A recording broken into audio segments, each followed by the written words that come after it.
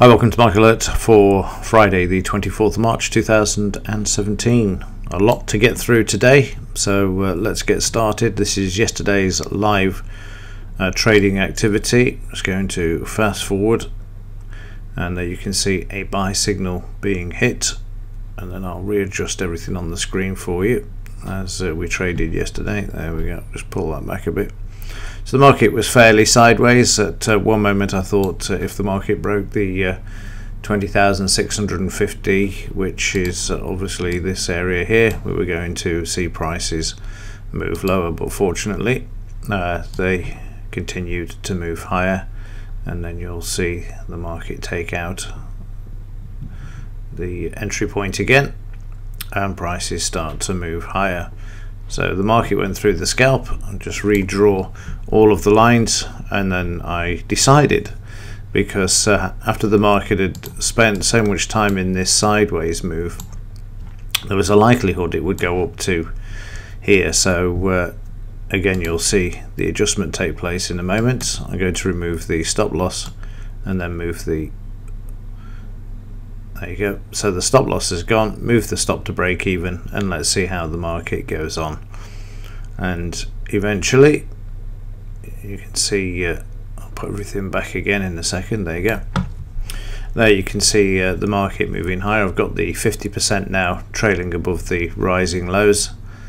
And the market puts in a sell signal, which is not it and then the market continues. High. I've got rid of the scalp now because I'm trailing the stop as well which you can see here. This is where the trailing stop is now. It's under all of these rising lows as the market's moving higher.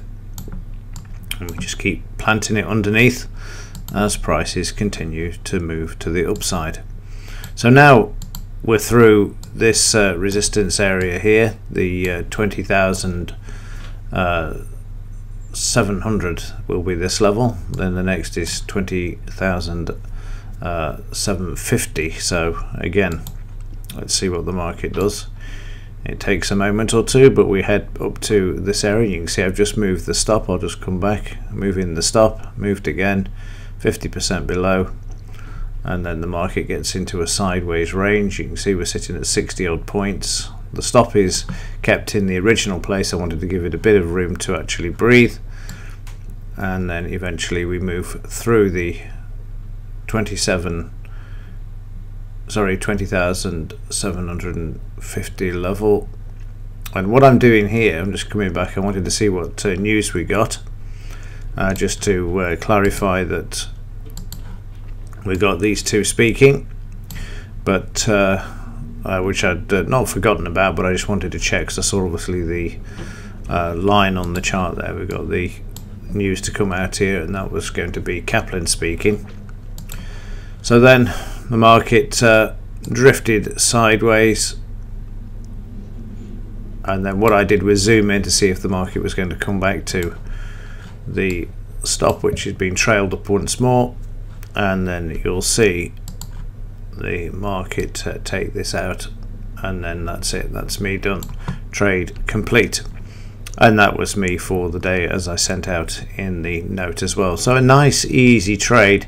The only issue really was um, this sort of sideways uh, issue that we had. Let me just uh, grab this. Was just there where the market went sideways for a while before then attempting to move back up to here and then that was it. Uh, game over so that was uh, an interesting day. Nice trade, nice few points there.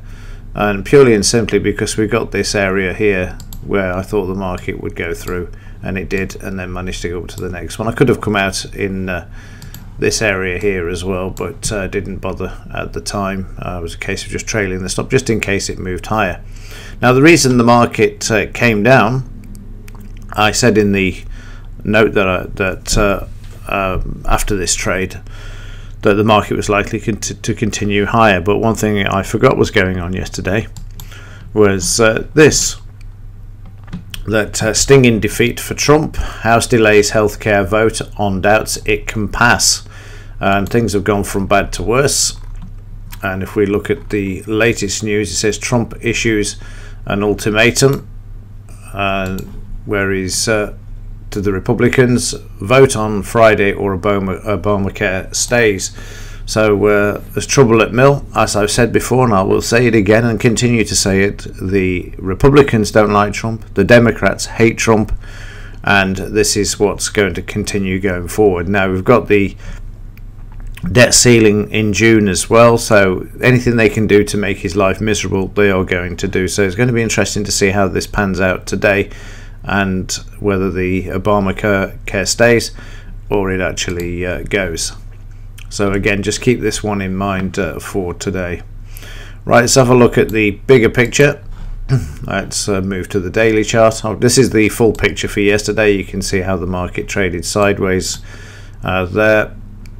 Anybody that uh, did trade through the evening part of the session, we had a buy signal there, which then was met by a sell signal, which was also uh, stopped out as well. I'm just removing some of these lines so you can see.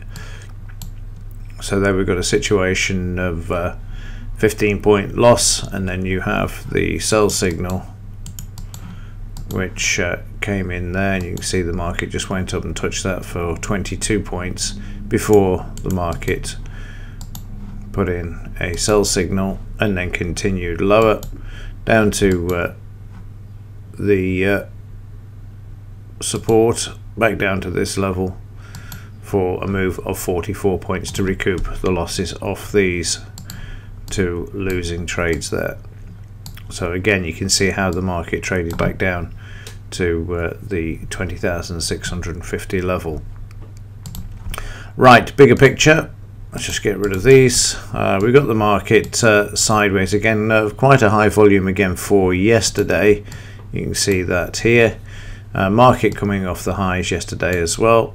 And I drew in this um, level here because I wanted to uh, have a look and see if the market was going to find this as resistance which uh, it did. And you can see the market's also finding resistance at this level at the moment. You can see the closing price is still below the 20,712 as well. So keep an eye on this uh, number as well. You can see over here this is where the market found support before. And where the market finds support it will then become resistance as well as the market tries to move back. News wise today let's have a look see what we've got at uh, 2 p.m nothing absolutely nothing today. So it's all going to be waiting for uh, this uh, Obamacare vote so I would imagine it's going to be fairly sideways would be my guess there. On um, the implied volatility front uh, let me just make an adjustment here with the screen recorder so you can see it. I'll zoom in as well. Um, here we've got uh, an increase on the previous day of uh, 10.11 to 10.38 and that's because there was uncertainty in the market yesterday towards the end of the session. And again the options traders pricing in a possible uh, Obamacare uh, remaining vote as it were. So like I say interesting uh, day ahead for the markets. And I think that is it for today. I can't think of anything else. Um, let's just have a look at the end of day chart, see if there's anything in there. Let me just move this slightly. Yeah, we looked at this yesterday for uh, this bar here to see what the volume is like, and it's uh, very low in real volume trading terms. So uh, there was no selling the day before, which we were su surprised to see, and then we've had uh, no sort of buyback either in uh, Thursday's bar. So sorry, in Wednesday's bar, uh, we don't see much buying back, and then Thursday, of course, we came off the uh, the highs as uh, the Obama care vote uh, failed to go ahead, as uh, Trump couldn't get anybody to vote on that one, which is why he's given the ultimatum for today.